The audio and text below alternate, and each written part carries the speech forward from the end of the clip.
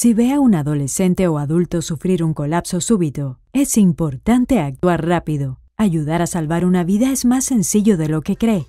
Usted le está realizando RCP usando solo las manos a un adulto cuando llega el DEA, con la víctima boca arriba en una superficie firme y plana. Está todo listo para reanudar la RCP usando solo las manos con un DEA. Quite todo lo que cubre el pecho, pues los parches del DEA no deben colocarse sobre ninguna prenda o joya.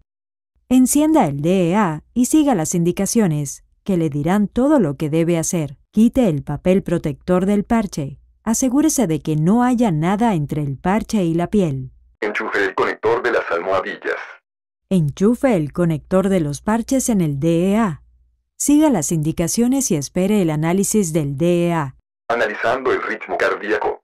No tocar al paciente. Compruebe que nadie esté tocando a la persona. Si tras el análisis el DEA determina que no se necesita una descarga, reanude la RCP usando solo las manos.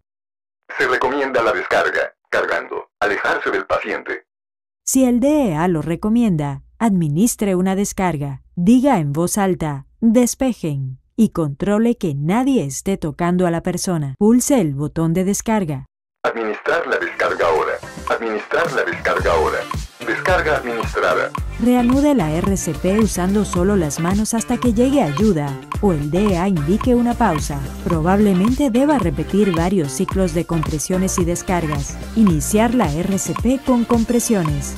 Siga las indicaciones del DEA hasta que llegue ayuda. Recuerde, si ve a un adolescente o adulto sufrir un colapso súbito, inicie la RCP usando solo las manos. Llame al número local de emergencias y pida que busquen un DEA. Luego comprima fuerte y rápido en el centro del pecho hasta que llegue el DEA y la ayuda.